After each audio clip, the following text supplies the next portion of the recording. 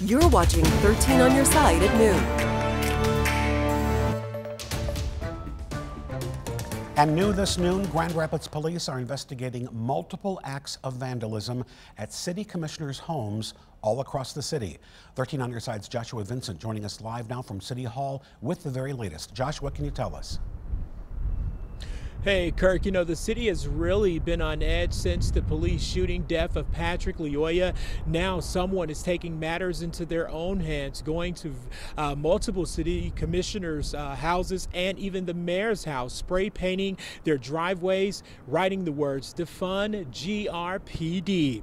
Commissioner Jon O'Connor and Mayor Rosalynn Bliss homes both have spray paint on their driveways, and O'Connor's house has a brick near the mailbox wrapped with a new newspaper clipping with Patrick Lyoya's name circled and the words, Blood is on your hands, written on it. Another commissioner's house hit, Nathaniel Moody, whose driveway was spray painted Defund GRPD. I spoke with him on the phone moments ago. He says he's concerned because someone tagged the wrong driveway and hit his neighbor's property. He said his neighbor is armed, which could lead to a potentially dangerous situation.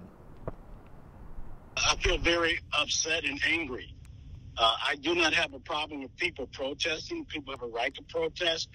When you get to a point where you begin to take it personal by coming to our homes uh, and vandalizing our property, you open up a whole new dimension of what protesting isn't about.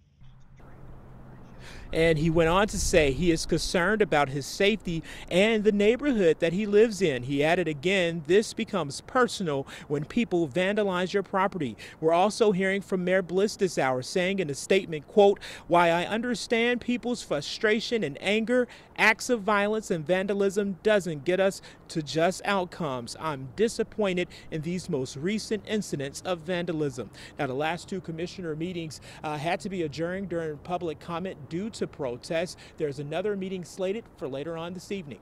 We're live in front of City Hall this afternoon. Joshua Vincent, 13 on your side. Kurt.